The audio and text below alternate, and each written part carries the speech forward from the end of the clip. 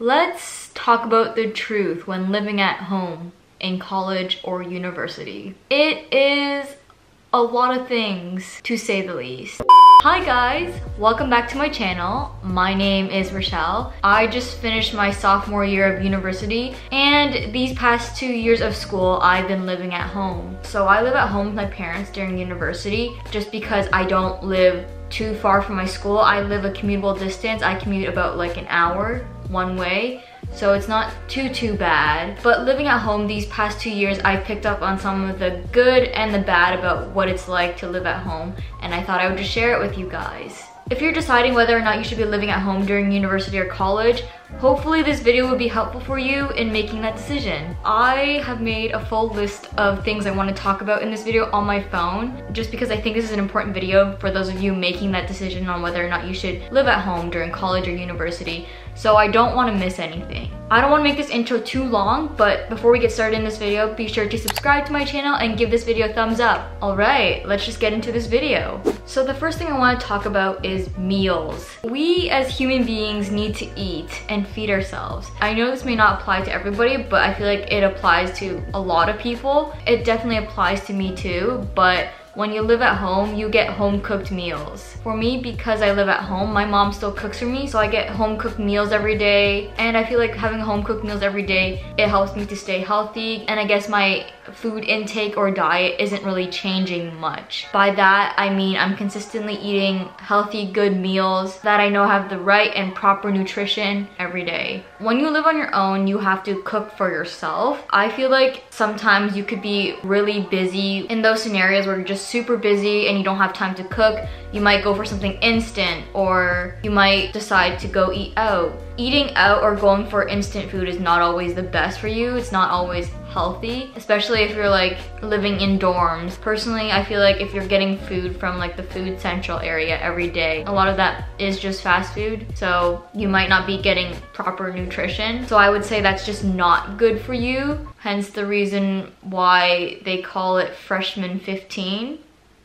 because you just tend to gain weight. In that sense, I know that a lot of people do do that because they have to. So through this video, I hope I'm not judging anyone, but that's just my general opinion on having a meal plan. Also, a good thing about living at home and your parents cooking for you is that A, you don't have to cook, but B, cooking is pretty time consuming so if you don't have to cook yourself that gives you more time to do whatever you want whether it be more time to finish your schoolwork or having more free time to hang out with friends or even taking more shifts at work or something the second thing I wanted to talk about is commuting because that is a huge part about living at home. You have to commute to school. With commuting, because you don't live on campus or near campus, you do have to wake up earlier just to get to school because the commute can be pretty long whether you're taking public transit or driving. Personally, I'm not a morning person, so that's what I hate the most is waking up early. But you know, because it's a necessity, I kind of force myself to do it. I'm a grumpy person in the morning just because I'm tired. But you know, you gotta do what you gotta do.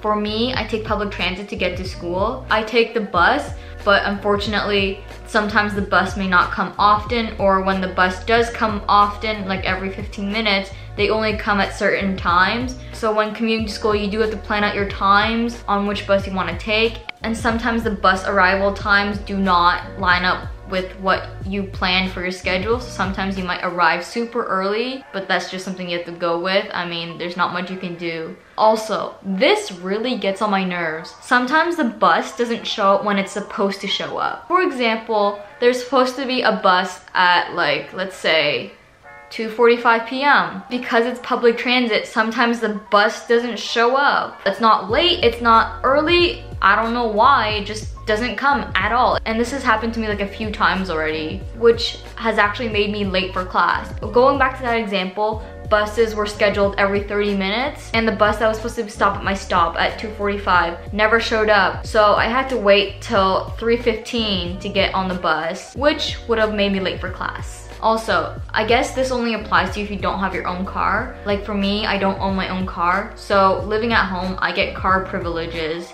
Of course, being at home, I get access to the car. So when I need to drive somewhere, I can just go take one of my parents' cars and just, you know, drive. Being able to take the car to get to my destination is definitely less annoying and it gets me to my destination a lot faster than taking public transit. Also, if you have your own car or you're able to take the car to drive yourself to school, I find that parking at your university or college is usually really expensive or overpriced. Yeah, I don't know why they do that, but I guess they just want to make students even more poor than they already are. So they make parking pretty pricey. And a lot of schools tend to do that, sadly. Personally, I just feel like it's not worth it. Like I rather commute just to save a little bit of money. Another downside about living at home is that hanging out with your school friends can be quite difficult. Just because depending on where you live, you might not live close to your friends. So that might make scheduling time to spend together difficult just because you have to take into consideration commute times, especially if you want to hang out at a place that may be closer to one of your friends but a lot further for another friend. And in my personal opinion, if the destination is like really far from where I live and the commute is just not a fun commute or not a bearable commute, sometimes I would say the commute is not worth it and I would end up not going to the hangout. And that definitely is sad because you know, you want to hang out with your friends, but at the same time, the commute is just not a great time. So yeah, because you don't live nearby your friends, that's what makes it difficult to schedule hangouts. The next fact I have for you about living at home will honestly make you so happy because when you live at home, you save a lot of money. Paying to commute to school every day is less expensive than paying for rent in today's world, rent is pretty expensive and paying for rent along with tuition is a lot of money. So if it is possible for you to live at home during college or university, I would suggest that if you are tight on money or if you just want to save. This kind of ties in with meals, but living at home, you also save money because you eat out less. Personally, I find that when you live at home, you're more willing to pack your own lunch and bring it to school instead of having to buy lunch every day. So that can be an area where you could save a little bit of moolah. Now let's talk about time management. I find that when you live at home, you do really need to have good time management skills, especially when it comes to commuting.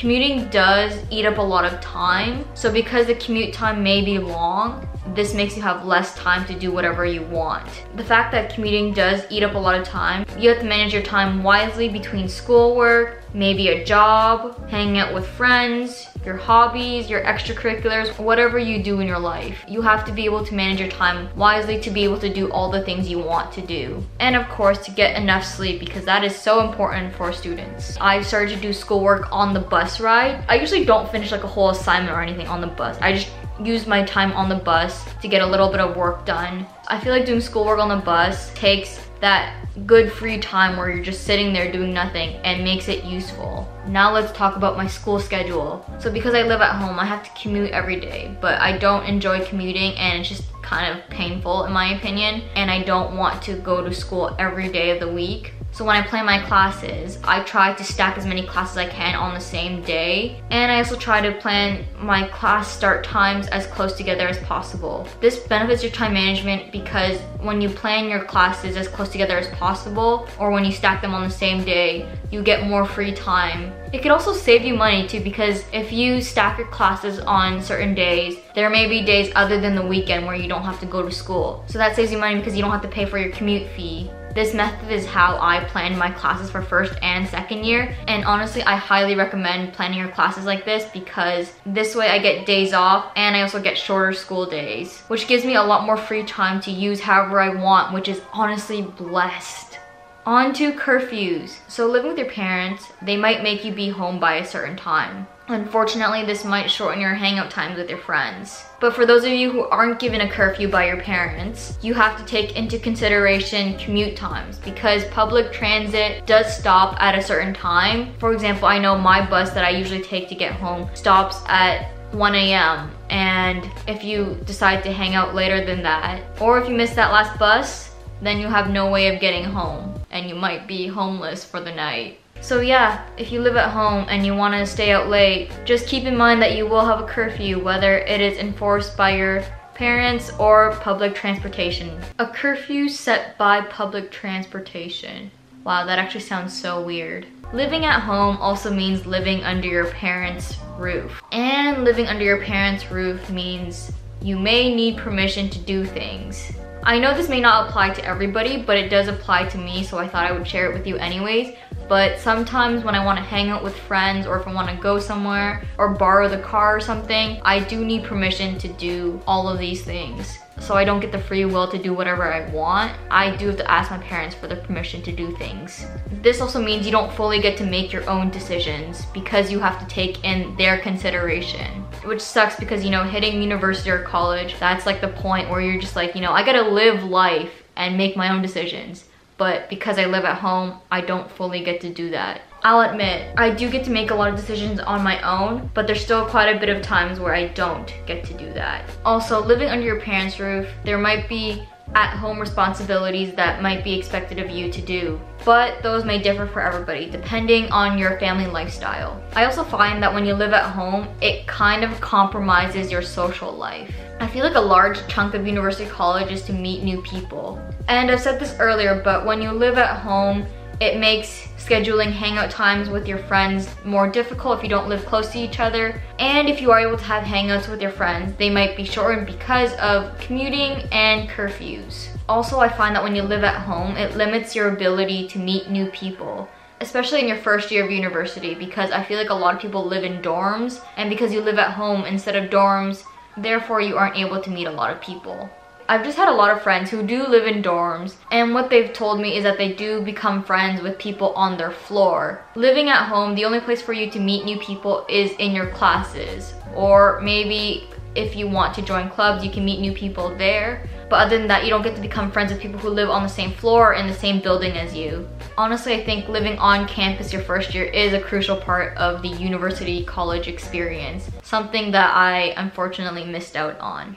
When living at home, I also find that your independence is compromised. Sure, you could be independent when you live at home. However, you don't get the experience of moving out and living on your own, which is a huge part of growing up. Which leads to my next point. When you live at home, you tend to grow up slower because you can still rely on your parents to help you out with some of the stuff. Whereas when you move out and you live out on your own, you're forced to do everything yourself, which helps you to grow up. I made a list of things you might not have to worry about when you live at home. The stuff on this list is kind of general, so it may or may not apply to you, but I'm just gonna tell you anyways. When you live at home, you don't have to worry about groceries, cleaning, taking out the trash, maintenance, or landlord relationships. My last point about living at home during university or college basically just summarizes everything I've said up to this point, and that is when you live at home, you don't get the full college, university experience. I've already said this before, but a huge part of university college, in my opinion, is to live on campus at least for one year. Piggybacking on top of that, you don't get to experience living with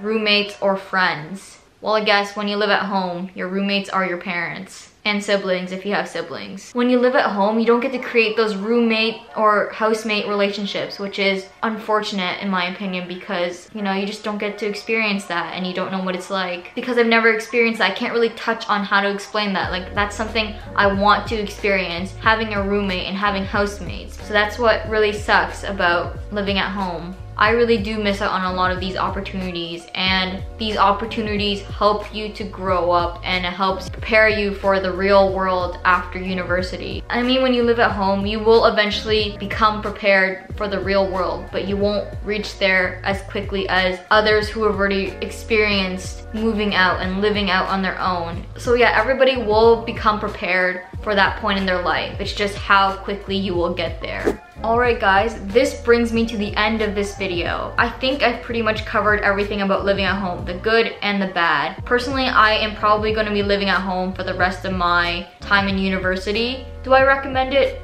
Sure, but that is also up to you in your opinion after hearing all of these facts about living at home. I will say that personally I don't mind living at home because there are benefits to living at home. For those of you who are debating on whether or not you should live at home during university or college, I hope you found this video useful in helping you make that decision. Other than that, if you like this video, be sure to give my video a thumbs up and subscribe to my channel. I will see you guys in the next video.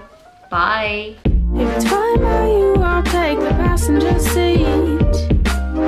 We can drive around to the sky and see me. If it's fine by you, I'll take the passenger seat.